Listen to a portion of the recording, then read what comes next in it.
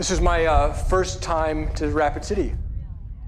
I moved to Minneapolis from California, and in December of last year, my wife and I and our then two dogs were towing a trailer driving through South Dakota, and it felt like we were driving on the moon because there was snow, it was windy, it was an odd sky, but it was great. It's a beautiful place, and everyone's been so nice. Uh, no, it is. I mean, it was very cold then, but this visit uh, yesterday and today, and I'm going to the Buffalo, the, the Buffalo Roundup tonight, tomorrow. I'm very excited about that. So thank you for having me. We're going to try to make this as interactive as we can, including with all of you. But maybe let me start out um, with, the, with the first question. I mean, you're, you came here from Minneapolis. We know why you want to go to the Buffalo Round Roundup because that's like on everybody's bucket list. But why Rapid City? Why, as the from the Federal Reserve, why are you here? Sure. Well, first of all, let me just back up for a moment. Most people don't know this, but 100 years ago, 1913 to be exact, when Congress decided we need a central bank, they wanted to do something different. Most countries, they have a central bank, but the central bank is all headquartered in the capital city of the country. Congress said, well, we want a central bank, but we don't want all the power concentrated in Washington, D.C. or New York, so let's distribute the power. We've got the Board of Governors of the Federal Reserve System in Washington, and then we have 12 regional Federal Reserve banks, including the Federal Reserve Bank of Minneapolis, that are distributed around the country. And our jobs are to represent our region. So our region includes Minnesota, North and South Dakota, Montana, part of Michigan, and part of Wisconsin. So a big part of my job is to get out all across the region, and it's a big region, mind you, all of those states, to understand what's happening in the local economy so that when I go back to Washington, D.C. eight times a year, I was there last week, I think, all the weeks blur together for the Federal Open Market Committee meetings where we set interest rates for the country part of my job is to say, hey, here's what's happening in the Ninth District and help shape, help inform our national policymaking. And so I'm here because Rapid City, South Dakota is enormously important. Rapid City is an enormously important economic center within South Dakota. So I'm here to learn what's happening on the ground, what's going well, what are the challenges, how do you see the economy, what's happening with unemployment, how are people doing. We look at a lot of economic data, but that data doesn't mean as much unless we're meeting with people and saying, what are you really experiencing on the ground? And so that's why I'm here. And so I hope you'll take uh, Dr. Wilson up on that and ask me tough questions and give me your feedback so I can learn from you about what's happening here. Well, before we start thinking about those questions, because my next, my ne I'm going to start looking to you all with your hands up to see what you would like to ask Neel. Um, in the two days or so that you've been here, what surprised you? I don't think it's so much a surprise. Uh, I had a sense of this, but there's a real optimism in the culture, I think, of South Dakota. And so folks here in Rapid City are, with, with good reason, very proud of your city and the progress that the city has made, the development, uh, the downtown area, and people feel invested in continuing to take it forward. And so you know, I like I like optimists, right? If you're with a group of optimists who have the same goal, there's almost nothing you can't get done. And so I think that, you know, South Dakota and Rapid City has a lot going for it, uh, and that's great. I'd much rather work with people who are who want to roll up their sleeves and fix a problem than just sit around complaining about a problem. All right, smart people of Rapid City who are optimists, what are your questions? and we've got some roving mics. So, and, and honestly, I always say this to audiences, and I really, I really mean it, which is show me respect by asking me your toughest question. And here's why I say that because if you have a question you really want to know, there's a good chance somebody else has that same question. And I would rather you ask me that question and give me a chance to answer it than have a few of you go off wondering, gee, he didn't, nobody asked him the tough question. Oh, good. Now the hands are coming up. uh, Marnie Herman, can we, right down here in front. So I know Marnie will have something hard. Thank you. So my name's Marnie Herman. I work for a community bank just under a billion in size here in South Dakota and Nebraska is where our footprint is. One of the questions that our CEO who's here and our CFO who are here, one of the questions that we wanted to ask was if you could start over with the US banking system, start from scratch, what would the composition of banks look like in the United States? And with that mix of community banks, regionals, super regionals, global, what's your ideal mix? Today? Boy, that's a good question. Um, I think they each have a role to play. I don't have a perfect mix in my, ha- in my head to say 25%, 25%, 25%, though that's not a bad place to start. I mean, there is a role for global banks to service multinational corporations, but there's a real challenge for global banks to understand what's happening in local communities, especially rural communities. It's very hard for big banks to have confidence to make a loan in a neighborhood that they don't know very well or they don't know the, the people that they're dealing with. You know, when I moved to Minneapolis, I uh, got a mortgage. I had to get a mortgage to buy my house. And I could not believe how shockingly painful the process was to get a mortgage. I thought they were screwing with me because they knew who I was and they just wanted to needle me. And this was, I was dealing with a very large bank because I've moved around the country and uh, this, I've been with this bank now for a dozen years or so. It didn't matter that I'd been with them for a dozen years or so. It was just shockingly painful. And so, on one hand, I see real advantages to community banks that uh, know the communities, know the people they're dealing with. I also think we have to get regulation right because a lot of small banks are being smothered by regulations that are really targeted at the big banks. And that, you know, this, these regulations that we've rolled out are actually making it harder to be a small bank, and they're giving more advantages to big banks when they're supposed to be taking those advantages away. So to me, a lot of small banks, mid-sized banks, banks of all sizes, not so concentrated at the top end, and maybe more importantly, rational regulations that are tailored to the size institution and the risk that they pose. Kasai. You know, we hear all kind of theories about what the Feds uh, do and do not do, but having just returned from DC to decide what the interest rate would be. The last couple election cycles, the presidential election cycles, uh, especially the last year, we often hear that uh, that uh, the decisions are influenced by politics. That they really they don't just take into account the economy and so forth, which is in theory the way it should be, but that politics really weighs heavy into that, so that they can influence the election one way or another. Would you care to comment on yeah, that? I'm, uh, yeah, I'm happy to comment on that. Uh, it's absolutely not true. Uh, absolutely not true. Uh, one of the things, my first uh, Federal Open Market Committee meeting, I was sitting there, and there's a giant map of the United States on one wall. And this is a very grand, ornate federal building, you know, a very old building. And I just kept thinking to myself, and I, I've got to believe when you were a congresswoman, you felt this way, and probably still do. I was so proud of our country that you know, we're able to attract people who care about their country, who want to do the right thing for their country, who don't let politics get in the way. So sitting around that table, there are people of all political stripes. I'm not supposed to talk about politics, but my background is well known. I was a Bush appointee. I've been a Republican. I ran for governor of California. I was Republican nominee for governor of California in 2014 as a Republican. And I'm agreeing with people in terms of interest rates who are who I shouldn't be agreeing with if it were up to politics. We should be on the opposite sides of the table. But we're looking at the data and saying, what is the data telling us about the US economy? And let's make decisions based on what the data is providing us. And so I can tell you with no hesitation, politics is not factoring into anything that I have seen. It's reassuring. In the back there. In the back, yeah. Hi, Alan Canetti with UBS. Uh, what do you see as the biggest risk right now to the financial market stability. And I guess as a follow up to that, with the ECB and Bank of Japan going to negative interest rates, do you see that as our future? And at, at what point would that be justified? Well, uh, there, there are a bunch of things happening in the global economy that we don't really understand. And so I'm a, an engineer, so I'm, you know, the, the culture of engineering is generally one of a little bit of humility. And as an engineer, I feel very, I'm, I'm fine telling you what we don't know. And there's a lot that we don't know. So if you look around the world, interest rates since around 1980 have been gently gliding down all around the world, in the US, in Europe, in Japan. We don't exactly know why that is. It's a combination of a number of factors we think. For example, societies around the world are aging. We know that in America, but in Europe it's even worse, and in Japan it's even worse yet. So we think that an aging society is contributing to that. We think the way technology is being developed and adopted is contributing to that. But interest rates have been falling. They're not falling because of the Fed. We are manipulating interest rates around this long-term trend.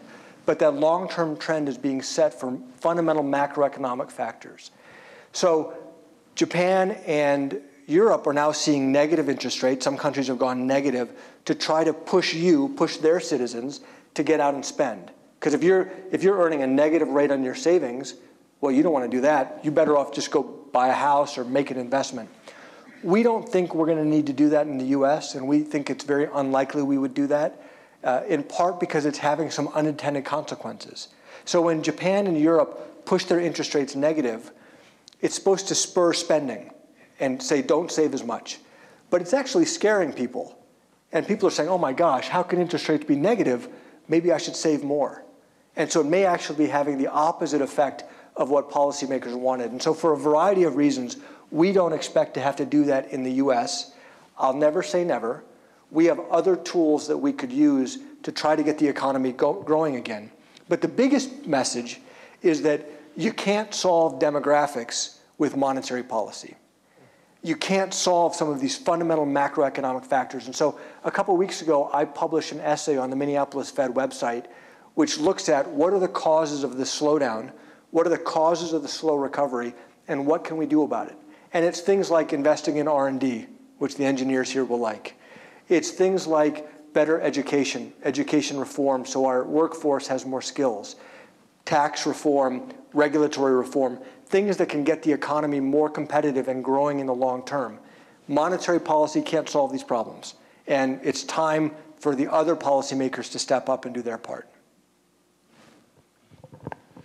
Neel, I um, through the 2008 period, I, I, read about the book about has you in it, The Big Short, and I understand your role at that time. I don't think I'm in the Big Short.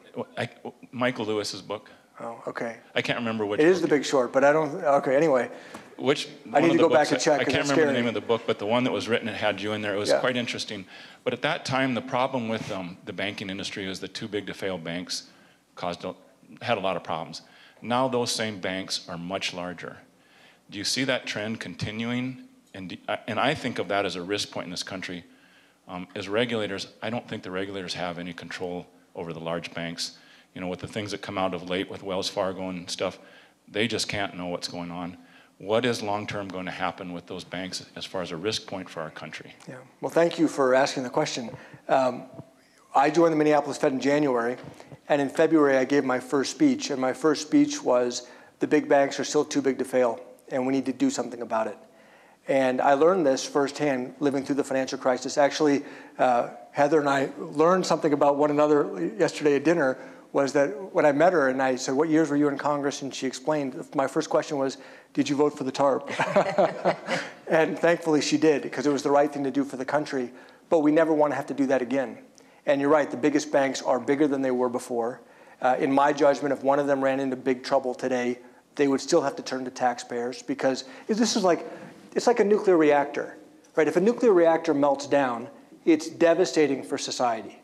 So do you, does that mean you ban nuclear reactors? No, not necessarily. It means you really regulate them so that they are very safe and secure, so that the odds of them running into trouble are exceptionally low. Well, the biggest banks today, in my judgment, are still too big to fail, and we need to consider much more serious action to address that problem. So, what we're doing in Minneapolis is we announced an initiative that we, we call Ending Too Big to Fail, where we've had a series of public symposiums at our bank. We've brought the best experts in the world to Minneapolis to share their ideas, including break up the banks or turn them into utilities like nuclear, nuclear reactors. All of this work is culminating in us releasing our plan, the Minneapolis Fed's plan to end too big to fail, which we're going to roll out by the end of the year. At the end of the day, it's up to you.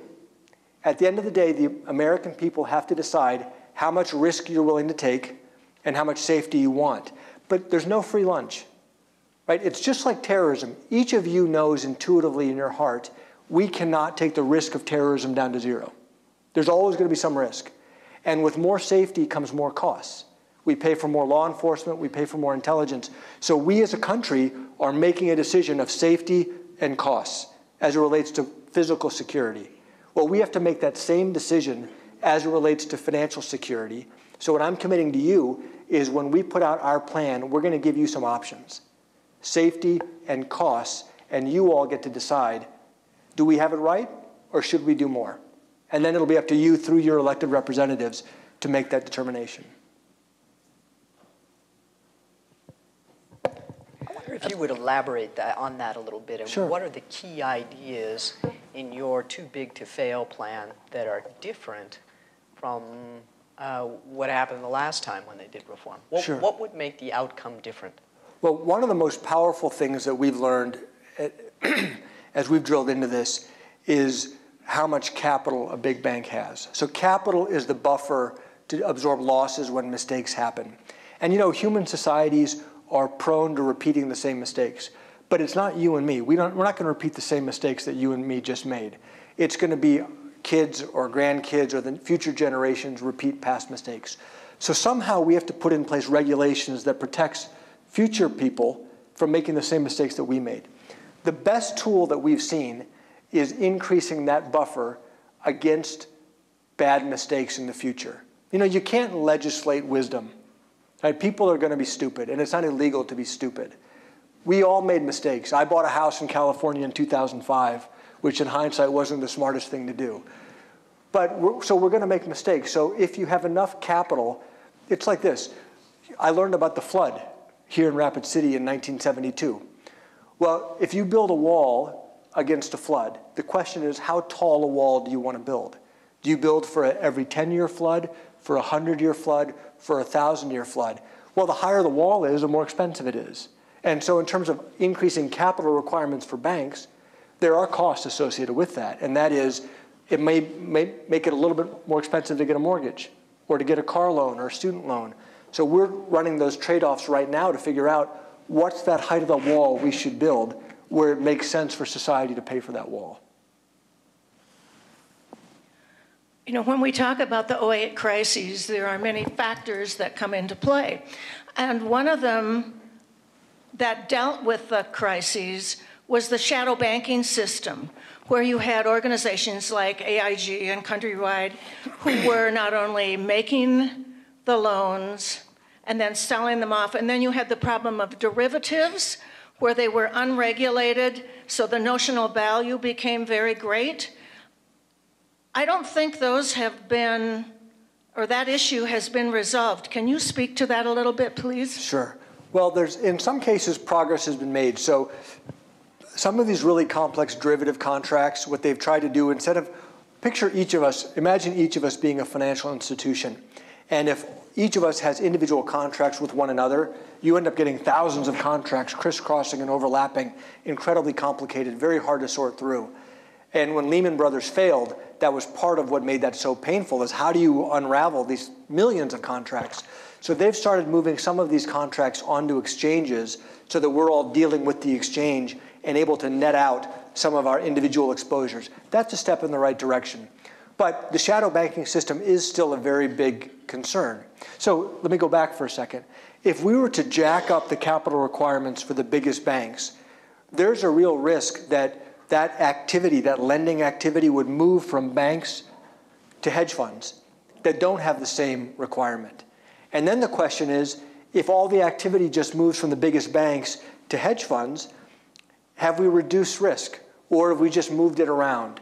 And these are the types of things that we're investigating in Minneapolis to figure out how can we put these pieces together so that we're not just pushing like a pillow here and it pops up over here.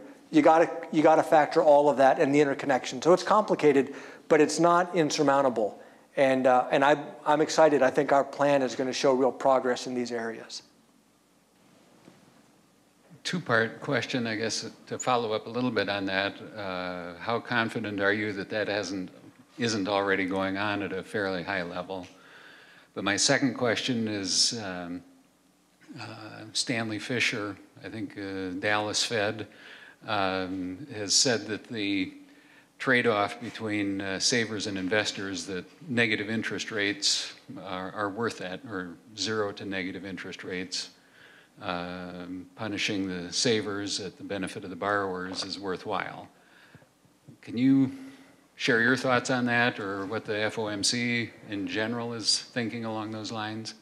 Well, um, tell me your first part again, because you you got me thinking on your second part. Now I lost your first part. Your earlier question, you oh, mentioned about happening? the, the, the, the migration is already going yeah. off. Um, the migration, I think it is probably happening because we see uh, some hedge funds, for example, getting in small business lending uh, where finance companies like GE Capital and others used to do that. Now it's more independent kind of companies that are doing that. And I think that's okay. I think that, in fact, that may be a good thing. For example, if, if lending moves from a $2 trillion bank to a bunch of small banks, or moves to a bunch of small hedge funds, I think I would argue risk has been reduced because it's not concentrated with one management team, one board of directors, and one giant vehicle. The problem becomes if a $2 trillion bank all moves to and becomes a giant hedge fund that's not subject to banking regulation, that's a systemic risk that we need to look out for. So not all migration is bad. It's migration at scale and concentration that I think we need to be most concerned about. As for, um, so there are two Fishers. One is former Dallas Fed President Richard Fisher, and then the current vice chairman of the Federal Reserve is Stanley Fischer.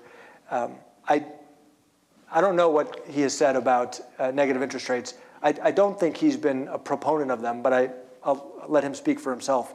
Um, our view is, as I've, we've talked about it internally, is that the US economy is different than some of these smaller European economies or the Japanese economies. Our money market industry is different.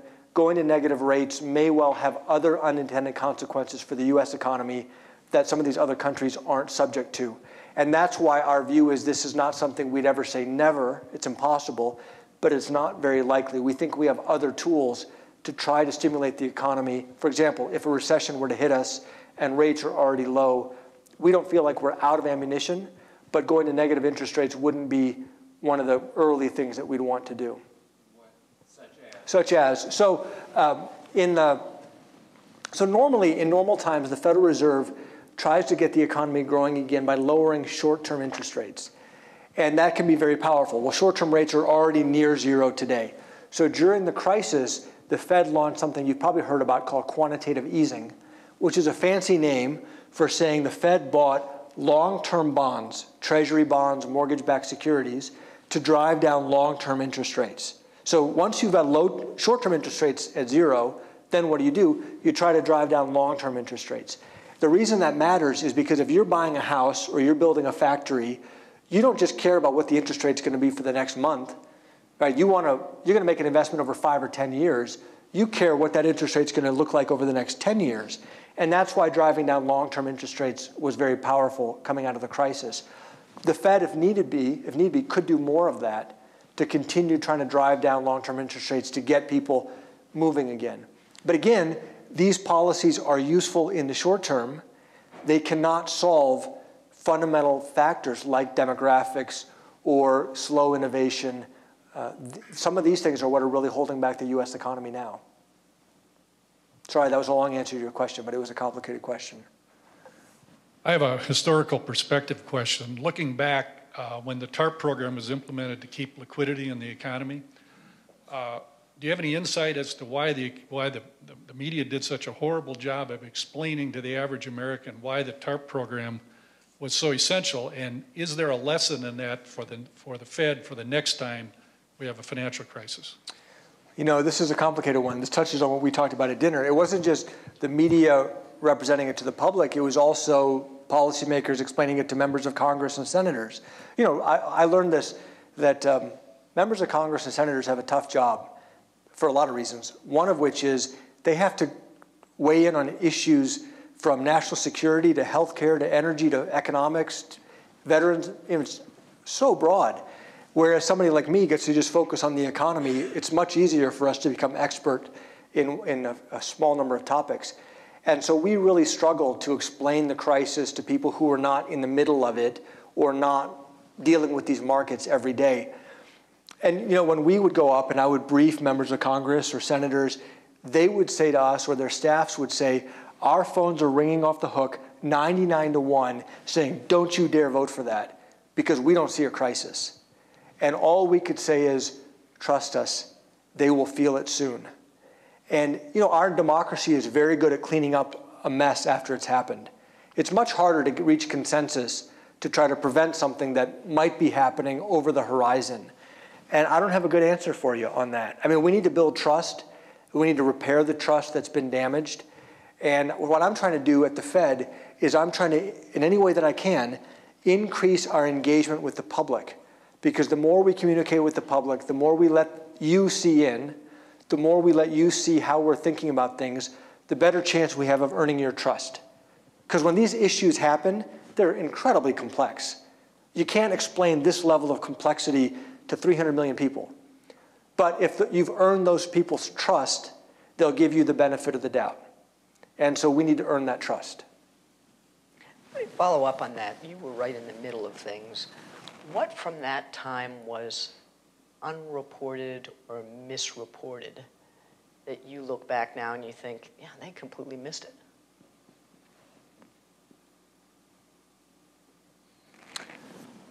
I think, I mean, a lot of things. Um, things that stand out for me are, like in my comments about the Federal Reserve earlier, the quality of people that we had and the reason they were there. So when we were negotiating the TARP, I had some members of Congress ask me, how many people do you think you're going to need to run this? I said, I don't know, 10 or 15. Uh, in six months, I'd hired 140 people, right? We had no idea how complicated this was going to be, what was going to happen. And we had people volunteering from across the country saying, I want to come serve. And I know when I, by the time I talked to them, I said, let me just be very clear with you. I've read your resume. You're very qualified. I get that. I need you to come here for no more, no fewer than four months. You're going to work for very little money compared to what you're making now. You're going to work no fewer than six days a week, no less than 12 hours a day. You're not going to see your family, and you're really going to get criticized. Are you sure you want this? Because don't waste my time if you don't. You wouldn't believe how many hands went down and said, you know what, now is not the right time. But the people who then said yes, we didn't care if they were Republicans or Democrats or libertarians, didn't matter. We wanted people who were there for the right reasons to help us get through the crisis. And so I'm enormously proud of the job that was done at Treasury, at the Federal Reserve, uh, around the government, of people saying, country first, what do we have to do?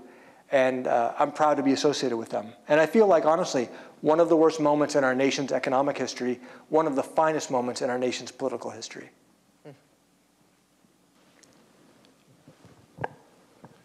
I'm going to go a little local here. Um, one thing that the Rapid City area Black Hills have is a pretty low unemployment rate.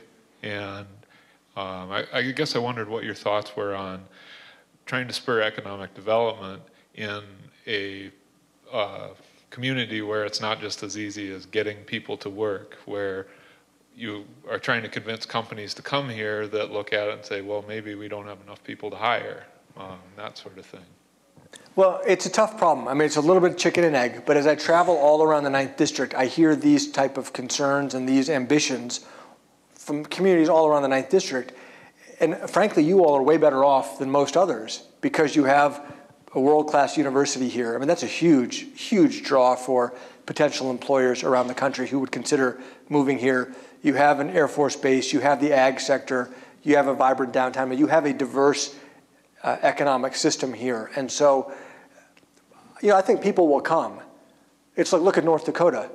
There was an oil boom. People came from around the country to go service and take advantage of the oil boom. Uh, I think if you keep doing what you're doing and you keep investing in the university and the relationship with the university and the medical center that you have here, that's another reason why people, you know, want to come here because you've got very high quality medical system. I don't think that there's, at least I haven't seen a silver bullet. I feel like you have all the pieces in place you just need to keep doing what you're doing and taking taking advantage of them. And maybe there are other structural barriers. I mean, sometimes you'll hear from company. I don't know how easy it is to get goods in and out of here. So, is it possible you could benefit from more investment in rail or highways? I don't know. You know, you all know that better than I do. But those are the types of things that I think can unlock the potential. But it seems to me like you've got the components here. I don't know. What do you think? You're you've been here for a few years now. You're not supposed to ask me questions. I know, but see, but see, having I know you were a member of Congress for 10 years, so I know you can handle questions. well, one of the things that was surprising to me when I came here was this East River, West River thing. And, and it seemed very funny to me. Um, and there are cultural differences that come from geology and geography. Um, uh, but but uh, one of the things that was always that, that I think is, uh, is, seems to be going away somewhat in the community now is Rapid City in western South Dakota has so much going for it. Uh, you're right, we have a, an Air Force base. We have a strong ag sector. We've got a fantastic, we've got, you know, a, a, a, tourist attraction that's not just a tourist attraction, it's on everybody's bucket list. Yeah. Um, we've got a university. We've got a, the regional healthcare system. We are the retail hub for 200 miles around.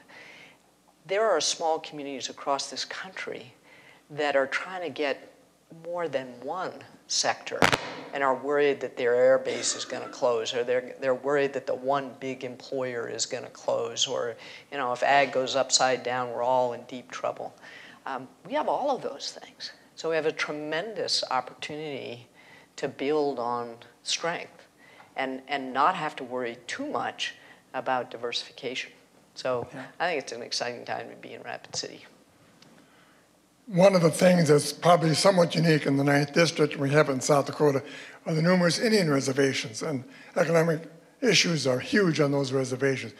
What, if anything, can the Fed do to address the issues we have on our reservations? Yeah, it's, so this is a topic that's enormously important that I'm beginning to learn about. Uh, I have a lot to learn. And we have, one of the things I found at the Minneapolis Fed is a couple years ago, we launched a center called the Center for Indian Country Development to specifically study these economic issues, everything from uh, land use, you know, the ability of people to get mortgages on property that may have multiple people claiming ownership of it, to education issues, to just access to credit, financial inclusion. I mean, these are enormously complex issues that have come about over many, many decades. So we know for example, monetary policy can't solve this. We can't target monetary policy. It's, the, it's a blunt instrument across the entire United States of America. So we can't target it in specific states or specific communities. But we do have a lot of research expertise. And if we are able to understand these issues and be an honest broker and bring people from around the community together to try to address these issues, then I think we can make progress. So this is something that's very much on our radar screens. It's one of our priorities. Uh, but I also want to set expectations. These are, like I said, decades in the making. They're not going to get solved easily, but if we can play a role, we are going to do our best to play that role. My question has to do with uh, timing. If you could uh, visit with us about the timing of Fed actions as it relates to doing too little, too late, or too much, too soon um, outside looking in, it looks a little like the Fed is just frozen right now on what to do. And could you just comment about um, the concerns that you know we have regarding some of the timing and how that's going to play out in the near future? Sure. Well, um, so Congress gave us, we, we report, we work for Congress, therefore we work for you, but Congress gave us what's called a dual mandate, which is we want to achieve stable prices and maximum employment. Now, we've defined, as most central banks have, stable prices means 2% inflation. So that's our target. The reason it's not zero is because deflation is a really bad thing. We want to avoid deflation, so we give ourselves a little bit of margin of error. That's why it's 2% inflation. Well, the US, for the last four years, we've been coming up low on our inflation target. But it's not just us. Europe has been coming up low. Japan has been coming up low. Developed economies all around the world. Go back to where I started. A lot of these things are global phenomenon that are affecting us here also. So inflation's been too low, and yet the job market is creating a lot of jobs. So the question is, if we start raising rates, what's that going to do to inflation, and what's that going to do to the job market? If you raise rates, that tends to push inflation down. So the fact that inflation is coming up low suggests there's no urgency to hurry up and raise rates. And if you raise rates, that tends to slow the job market down. So one really positive surprise in the last three or four years, coming out of the Great Recession, a lot of experts thought we would have a lost generation of workers as the long-term unemployed became permanently unemployable. They'd just be lost. Well, and that's how the unemployment statistics showed them. Well, in the last three or four years, much to our surprise, pleasantly, people have been coming off the sidelines and re-entering the labor force.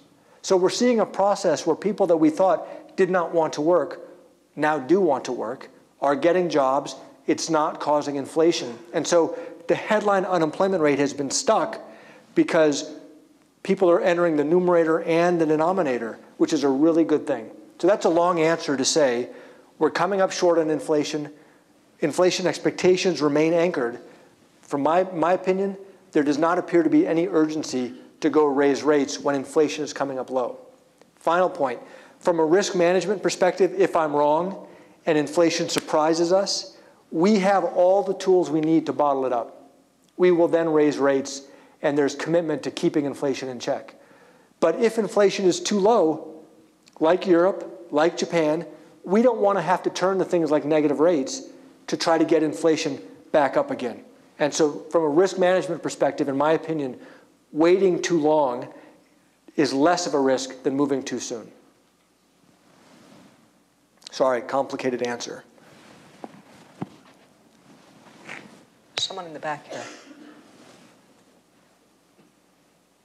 I'm curious at what your uh, uh, what your view is of where the banking structure is going. Uh, I've been a community banker for 25 years. When I first got into it, they said a lot of people are saying community banks won't be around in 15, 20 years. Never believed it. I see the value in it. You all probably do too. And so, but I see it as a little bit more of a threat with a lot of consolidation due to the regulatory burdens as well as credit unions without tax burdens having more powers. I just wanted to see what your thought was and where the banking structure could be. Is it going to be a more consolidation or what you foresee? And I guess what's your opinion, what you'd like to see? Yeah, I think uh, if we don't change anything, more consolidation is coming for the reasons you said, which is the regulations that are now hitting community banks. You know, if a if a mid-sized bank has to hire one compliance officer, no big deal. If a community bank that has 10 employees has to hire one compliance officer, it's a very big deal. So they can't afford it. That forces them to merge, and it's forcing more consolidation among the smallest banks in particular. So unless somebody does something, that trend is going to continue. And so I'm hopeful that with our plan on too big to fail, you know, I think that there's I think there's bipartisan support to try to relieve some of the burden on community banks because community banks are not systemically risky. If a community bank fails, it's painful for that community, but it's not going to plunge the whole US economy into recession or depression. So I think there's a bipartisan consensus that we need to get that right, but I think it's getting caught up in the concerns around the biggest banks.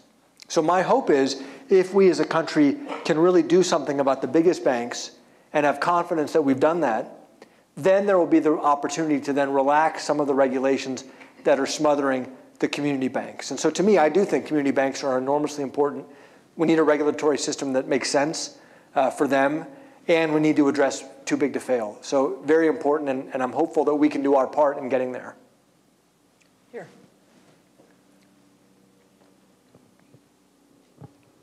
I'd be curious to find, or at least get your interpretation, your ideas on where we are headed in terms of a recession. Um, with all the strength in the ninth district and locally, your, your data supports that. How do you see the U.S. economy going forward? There are a lot of regional economists right now who are forecasting what they would even call a violent recession within the next 18 months.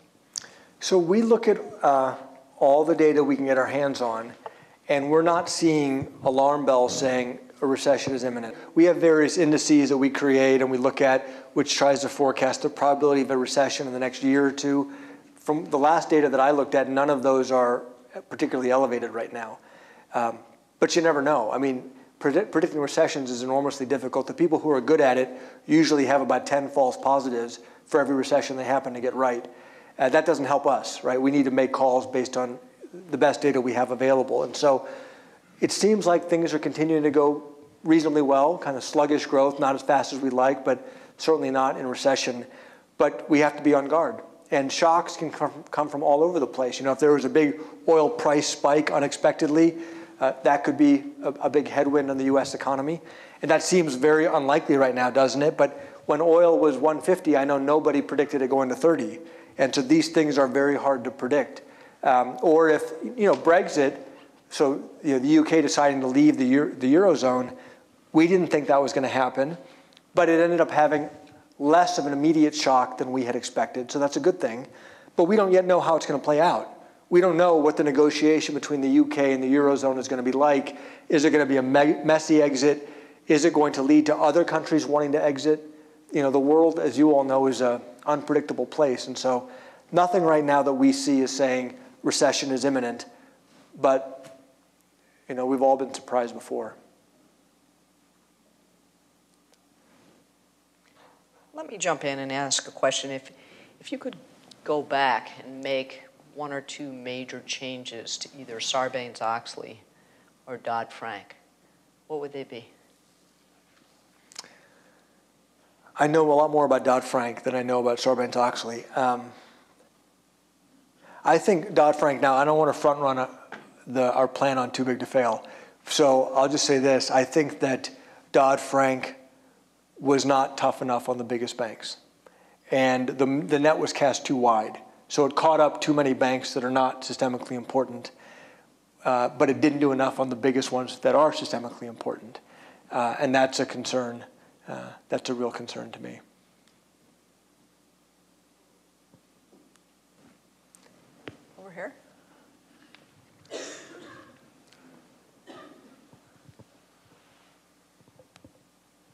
So every day we hear that the national debt is approaching $20 trillion and going up at a faster rate. And intuitively, you got to believe that that's some kind of a disaster out there in the future. How do we not come to that conclusion?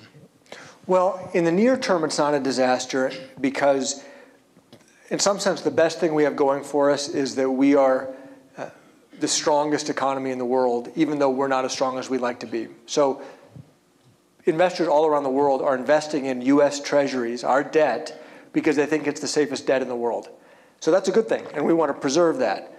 And the biggest risk to that over the long term is because of our entitlement programs Social Security, Medicare, and Medicaid. And this is all math. I'm not offering a value judgment. It's just simple that most of these programs are paid for by current workers paying for current retirees. And as our society ages, that ratio gets out of whack. And that's just arithmetic. And so we have to make some changes. And that's a political calculus. It's not the Fed. Ultimately, the American people have to decide what do you want to do? Do you want to change the way benefits are growing? Do you want to increase taxes? Do you somehow want to get the fertility rate up? You know, some countries are trying to get their fertility rates up. Do you want to embrace immigration more so we have more workers? These are three or four or five different options, and literally it just comes down to a political uh, consensus of which of those levers do you want to pull so that these programs are come into balance. Because if they don't come into balance, you're right we're going to have someday we're going to have a fiscal disaster because we simply can't afford deficits going through the roof. The good news is it's not right now. The bad news is it's not easy to reach consensus. You've talked an awful lot about too big to fail. Out in this part of the country, you have a lot of small communities. Have you ever looked at too small to survive? You know, I hear this a lot uh, when I travel around the Ninth District from small communities that are looking for new industries that they could bring to their communities. Maybe it's a, a mining town and those mines, you know, are no longer competitive or no longer operational, or it's a timber town, uh, et cetera. So I think it's a very common challenge. Uh, it's, it's hard for me, taking a broad view, to make assessments of, you know, this should be here and that should be there. You, you, in some sense, you have to let the market work. But I think you want to try to give the communities the tools that they need to make their own investment decisions to do what's right for their communities. You know, I'm, I met with a, I was in um, the Iron Range of northern Minnesota, which is struggling because the iron ore mines, a lot of them have shut down because iron ore prices are down. And I was meeting with some folks there, and an older lady said to me, you know, our population is decreasing. You know, what are we going to do about it? And I said, where are your children? And they said, oh, they all left. And I said, well, did you want them to stay? No, I wanted them to leave so they could go get better opportunity. I said, okay, but I, then I'm not going to criticize somebody else for making that same choice. And so, you know, I don't know. These are, these are tough questions as economies evolve and markets evolve. Um, I don't know if there's a right answer. You know, when the Ninth District, the Ninth Federal Reserve District, so Minnesota, North and South Dakota, Montana, part of Michigan, part of Wisconsin, when these districts were created 100 years ago, they all had roughly the same population. Now the 12th district, which is California, the whole West Coast, has about 60 million people. And the 9th district has 8 or 9 million people. And so, you know, the country evolves. That's probably not a satisfactory answer, but it's not an easy thing to solve. Well, I thank you for inviting me today. I thank you for taking time out of your busy schedules and for asking me some really good questions. And thank you for, uh, for hosting and moderating. Neel, thank you very much. It's a pleasure to have you here in Rapid City and a pleasure to have you at the School of Mines. Thank you very much. Appreciate it. Thank you. This is great.